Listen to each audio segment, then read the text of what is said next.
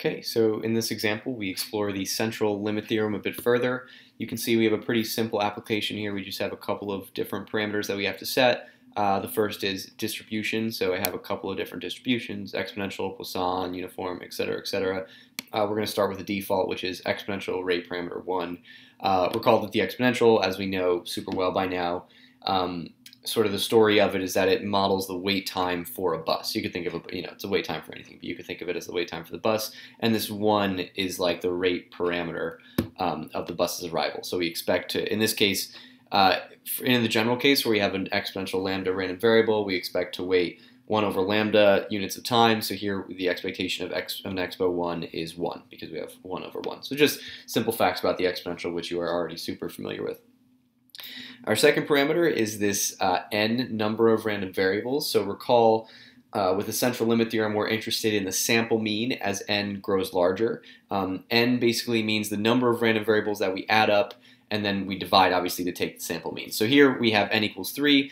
That means we're going to take three draws from an exponential 1 distribution, add them up, and divide by 3. That will be our sample mean. And the idea is that we're going to do this, uh, do that a lot of times, right? So we're going to add up three exponentials, divide by 3. That's one observation. That's one sample mean. We're going to do that thousands and thousands of times, and we're going to plot, we're going to hit go, and we're going to plot that. And the idea, again, with the central limit theorem is that that should become normal as n increases. So let's actually go ahead and try it. We'll hit go. And you see uh, we have two colors in this plot. This blue plot is a normal density, a estimated normal density. This is what the normal distribution would be if um, the sample mean was truly normal. Okay, so the sample mean has a, a, mean and a variance, and if it had a normal distribution, this is what its distribution would be. Uh, the green line is what we were kind of describing before, taking a ton of sample means, plotting them, and seeing what we get. And as you can see, it, it, it kind of looks like it's normal. If we increase n, it starts to become more and more normal, right? So we went from 17, now we go to 33, getting more and more normal, and let's just push it all the way to 100. We get something that's that's pretty normal, and we can keep these parameters and just you know do a bunch of extra samples by just hitting go. So we just see we hit go, and we get things that are generally uh, uh, pretty normal. Notice that it's not perfect, right? Um, the CLT is an asymptotic result, right? As n approaches infinity, the distribution approaches normal. It's approximately normal, so it's not exact, but it's, it's pretty good. This is this is something that's pretty normal. Um, one thing that we can check to kind of solidify our understanding of this whole like sample mean concept and the sample mean is a random variable is uh, try and go and slide n back to being 1. So in this case, when we have n equals 1 and we take the sample mean, that just means we add up one exponential random variable and we divide by n equals 1. We divide by 1, so we, we, essentially don't do anything. So this, when n equals 1, this is just this should just be the plot of an exponential, the, the plot of the density of an exponential 1 random variable, and you can see it kind of is. This green is just the, you know, the right skewed density of an exponential, you know, we know it's memoryless, et cetera, et cetera.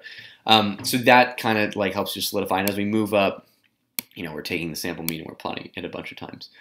Um, another thing to note is notice for, we'll set n to be some small value, we'll set it to be 2 here. Doesn't look, the exponential sample mean doesn't look super normal.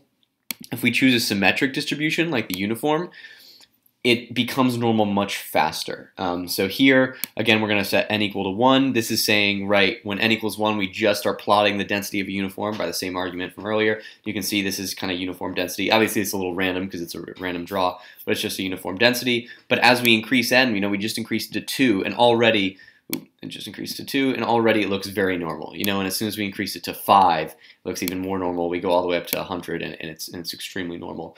The reason that is, is is pretty simple. We won't go into the technicalities of it, but the normal distribution itself is symmetric, so it makes sense that something that starts off symmetric uh, kind of approaches symmetry much faster. And you can try this with, you know, the binomial. It's also pretty, this is...